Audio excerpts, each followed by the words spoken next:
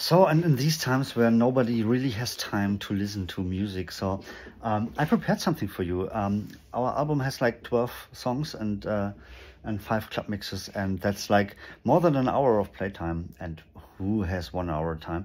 So I prepared something for you. Uh, all these uh, 17 tracks uh, uh, compressed into just uh, six minutes. Enjoy!